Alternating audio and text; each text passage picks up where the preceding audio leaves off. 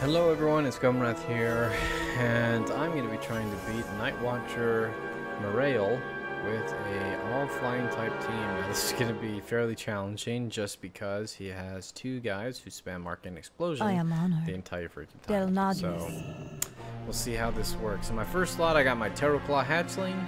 Uh, he's got Dodge, Alpha Strike, Nature's Ward. In my second slot I've got a Sentinel's Companion and he's running Moonfire, Soul Rush, and Dark Talon. And in my last slot, I've got the Dragonbone Hatchling with Liftoff, Adrenaline Rush, and Thrash. So we'll see how this works.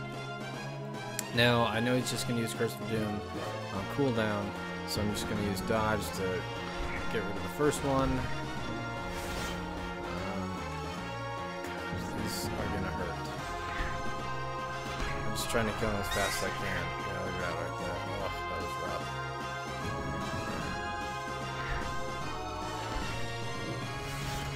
But gratefully, because he just insists on doing inner vision, you're able to take him out uh, before he does actually too much damage to your back line.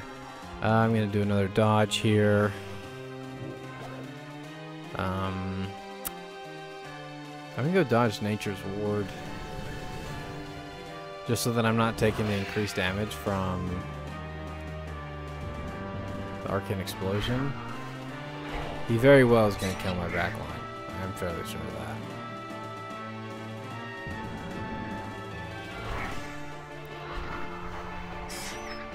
But here's the amazing thing about the Teroclaw is that he's just so versatile and uh, so strong that he does pretty well.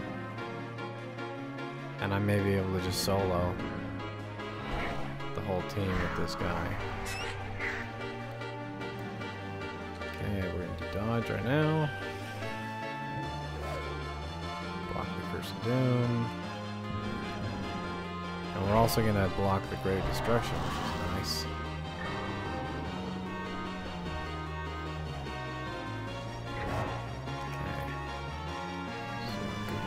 Nature's Ward. Let's see. He's a power power breed. He's at 390 speed. Okay, so he has the exact same speed as me. So it is a toss up for who gets to go first. And he was the one who got to go first this round. Come on, game. Give me some justice. Oh, yeah. And that only hit once because. Oh, sweet. Okay. How come my Alpha Strike is only hitting once? Okay, now it's hitting twice. Yeah, so you can solo this with the Teroclaw, which is wonderful. Boom. Dunzo. And my backline pets are barely alive, but they're alive, and that's all that matters. Okay. If you found this video helpful, like rating is always appreciated, and forever and always, it was a pleasure gaming with you.